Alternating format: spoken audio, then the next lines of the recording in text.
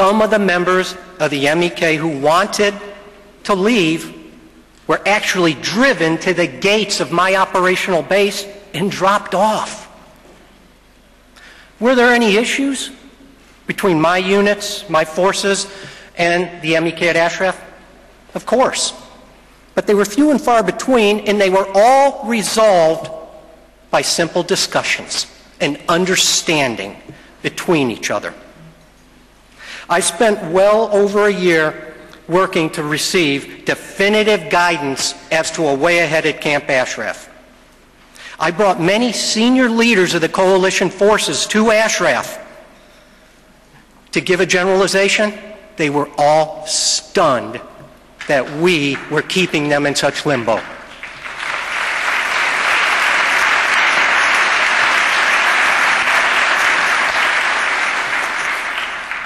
I left Iraq frustrated after that tour, and a year later when I returned, I saw that there had not been a change. There was still no definitive guidance. During that tour, I was charged with rapidly rebuilding the Iraqi police, and simultaneously I was General Petraeus' subject matter expert on all police and security operations, including the security at Camp Ashraf. What is the resolution? What happens next? We continued to press. The over 3,400 persons at Camp Ashraf were given a promise of protection. Following a very thorough vetting process, and I know this for a fact because I'm the one that went and saw Madam Parsaei and brought forth the promise.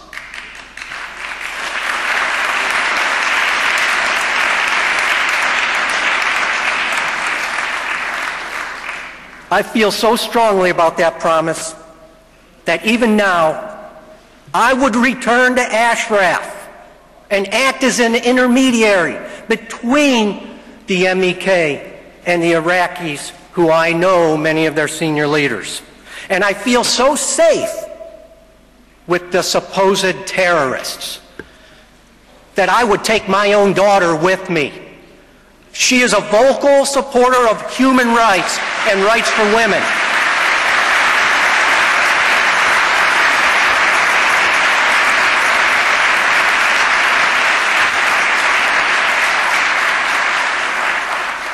And you know she's excited to go.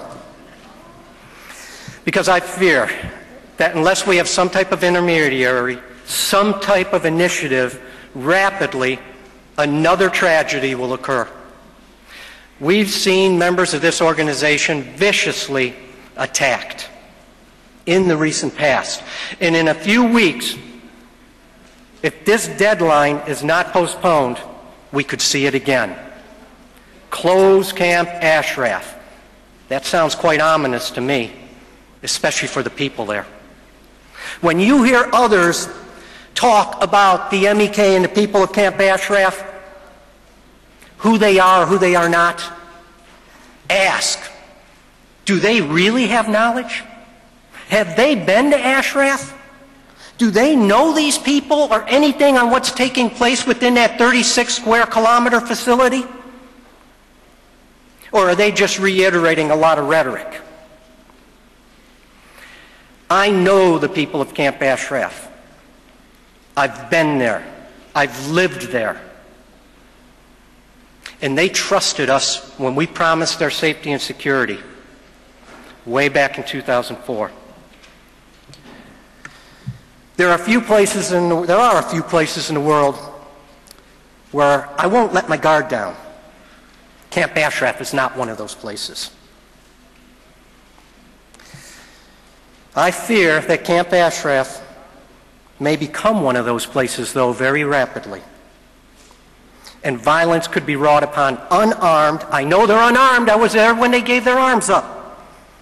Men and women, young and old.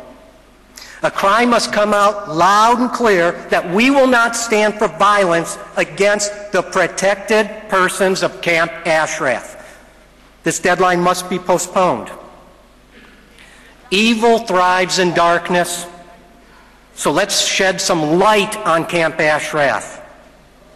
I tried to find a terrorist at Ashraf and I could not. I tried to find torture at Camp Ashraf, and I could not. I tried to find people held against their will at Camp Ashraf. I could not. I only hope the world is listening.